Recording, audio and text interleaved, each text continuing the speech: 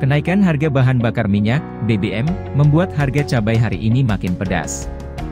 Bahkan, harga cabai melonjak hingga lebih dari Rp30.000 per kilogram, kilogram. Melansir info pangan Jakarta hari ini, Selasa, 6 September 2022, harga cabai merah keriting di pasar Ciplak naik Rp35.000 menjadi Rp85.000 dibandingkan hari sebelumnya.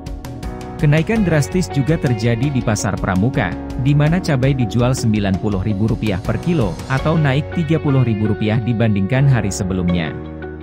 Sementara di pasar Majestic naik Rp10.000 per kilo menjadi Rp95.000.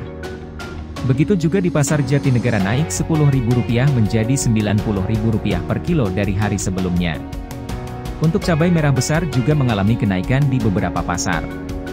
Contohnya di pasar Pademangan Timur lebih mahal Rp15.000 per kilo menjadi Rp75.000 dari hari kemarin. Di pasar Tebet Barat naik Rp10.000 per kilo menjadi Rp90.000, dan pasar Cibubur naik Rp10.000 per kilo menjadi Rp80.000 dibanding kemarin.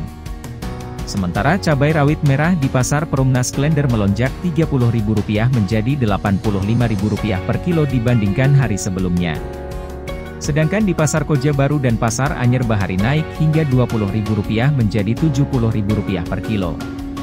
Jenis cabai rawit hijau juga ikut naik.